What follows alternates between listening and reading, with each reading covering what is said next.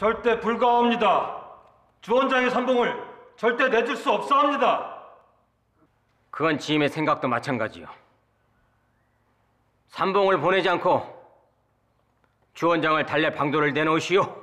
신하륜 여쭙겠나이다. 오, 하륜 대감. 무슨 좋은 방도가 있으시오?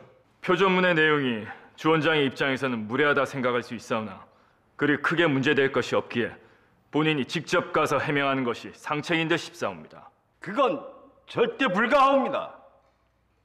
주 원장이 겉으론 표전문을 문제 삼고 있지만 삼봉 대감이 추진하고 있는 요동 정벌을 눈치채고 삼봉 대감을 제거하려는 술책인데 어찌 삼봉 대감을 죽으라고 보낸단 말이오?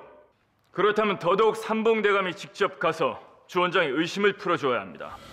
그렇지 않으면 명나라 황제 주 원장은 조선의 요동 정벌 계획을 기정사실화해 조선을 침략할 것이옵니다.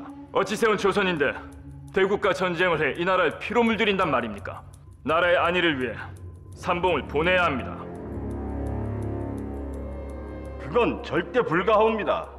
삼봉의 목을 내놓는 건 우리 조선을 내놓는 것과 같사옵니다.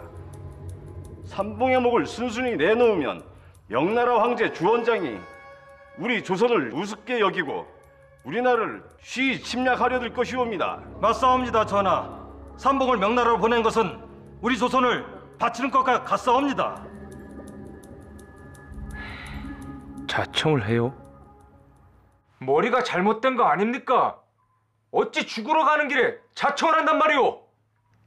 오히려 천우일해일 수 있사옵니다. 어찌 천우 이래란 말이오?